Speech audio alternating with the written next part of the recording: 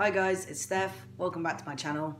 Today's video is just going to be a quick update for anyone who might be interested and also for me because I like obviously documenting my transition. As of this month, I'm just over four months post-op, which is incredible. I know I've been posting pictures online of my chest every so often, so people would have seen it, but it looks different, I feel, to show you in a video, just so you can actually see how everything looks, like, properly, and that's what I'm gonna do now.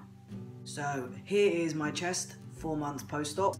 Genuinely cannot believe how good it looks. I don't really have the words to describe how it feels, you know, being able to look in the mirror and see, you know, how I should actually look. I'll get a little bit closer so you guys can see, but basically my incisions are so thin, I just, I, I, don't even know how he managed that, to be honest. Everything's all healed up now, so obviously last time you guys would have seen, I think I might have still had some scabbing on the nipples and stuff. That's all entirely gone. You can see that the scars have already started to heal quite well as well, these little gaps here from where the scar tissue is broken down. I do have a slight bit of kind of, it looks like swelling or something here. It's not swelling, it's just because a couple of my ribs stick out a little further than they should. So it kind of, um, yeah, just makes it bunch up a little bit here. But doesn't really matter because it doesn't affect how my chest looks. I still love it. And it makes it look like I have slightly more pec muscle than I already do. So that's really nice. I also reached out online and asked anyone to send any questions they might have that they didn't get to ask in my last Q&A. This is someone on Curious Cat and they said, who did you get to do your top surgery? Did you go NHS or private? And how much notice did you get when they gave you a date? Also, you look like Daniel Radcliffe when you smile, you are transition goals.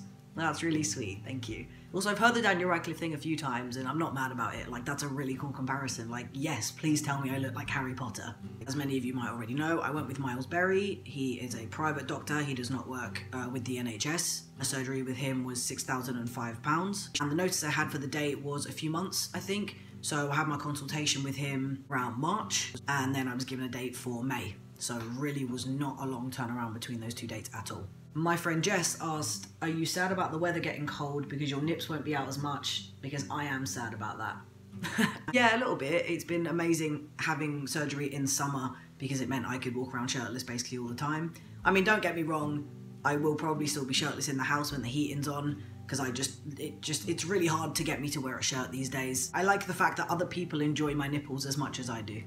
Onto the couple of Instagram questions I got as well. Someone asked, what do you think is okay to ask someone who just got top surgery, slash what questions are uncomfy? Regardless of if you're trans or cis, think about that question in terms of any kind of surgery would you want that question to be asked to yourself and would you be comfortable answering it? If the answer is no, then you probably shouldn't ask somebody else that either. I think in terms of what's okay to ask someone when they've had surgery, it depends on how close you are to that person. I don't mind my friends asking me about my scars and about nipple sensation and asking to, to, look at my chest and everything. But if it was a stranger, that would be a bit weird. So I think it's just up to you to judge your relationship with that individual and see what you think is best. Jay asked, what happens if you sneeze after surgery? It does feel like your nipples are gonna fly off, I'm not gonna lie. My friend Ryder asked, if your nips were not Gucci, what brand would they be? Probably like Reese's Peanut Butter Cups, because I really, really freaking love Reese's Peanut Butter Cups. If I didn't have Gucci nips, there'd be peanut butter cup nips. Which sounds kind of better. I might start calling them that instead, actually. People would be very confused. But it would amuse me. That's it for today's video. If you've got any other questions, feel free to leave them in the comments or tweet me or send a messenger with a scroll. I am going to be back soon with more videos. I've got a list of video ideas. It's just kind of finding the time and motivation to film them and hoping that those two things interlock. Hope you guys are having a good day, evening, night, wherever you are, and I will see you soon. Bye.